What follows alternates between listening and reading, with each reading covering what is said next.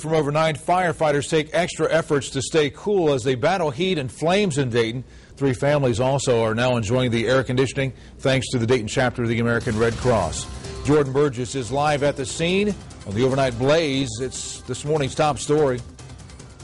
Right now in the daylight, you can better see what the heat did to these homes here on Fillmore Street, leaving them black and burned. It also took its toll on firefighters. It is very warm and sticky out here, and now the sun is finally starting to come up. That's only going to make things worse, so that's something to watch out for today with those heat warnings and advisories. And this is how firefighters dealt with the heat in just the last few hours, spraying down this home on Fillmore Street that caught fire, and then rotating out and taking a few minutes to towel off and get some fluids.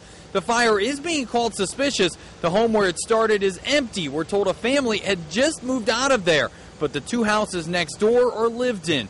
The people inside made it out in time, but firefighters had to go into one of the homes to try to keep the flames away. It still suffered some damage to the attic, and the Red Cross is helping three families with a place to stay this morning. But thankfully, everybody was okay. No cases of heat exhaustion that we know of among the firefighters. And afterward, crews told us how they were able to keep firefighters cool in these hot conditions.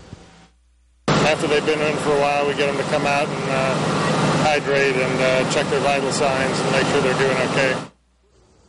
And that's some advice you can follow today as those temperatures start to rise as that sun comes up. Make sure to take breaks if you are working outside, drink plenty of fluids, and the best thing of all, well, stay in the air conditioning.